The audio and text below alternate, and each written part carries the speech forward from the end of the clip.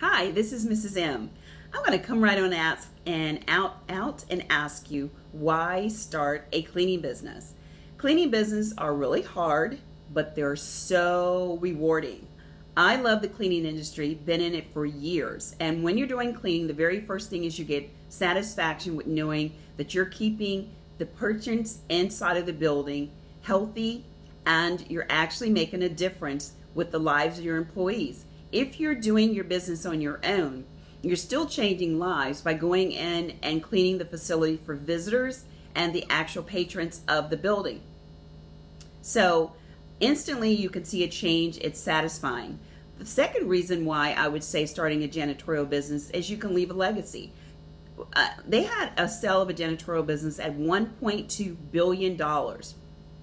1.2 billion. So the cleaning industry is very profitable, but you want to have a love for what you do, not just with the money.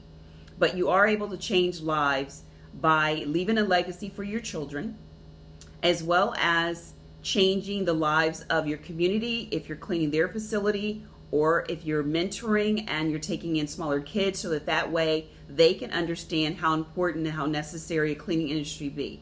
And the way technology is now, it is uh, so many apps, so many different ways that you can really grow and learn in the cleaning industry than ever before.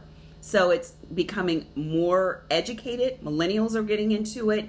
It changes lives. It's profitable. It's a purposeful building uh, business, and you can leave a legacy. So hopefully you found reasons why you would like to go out and start a cleaning business. Understand it's serious business, but it's well worth it.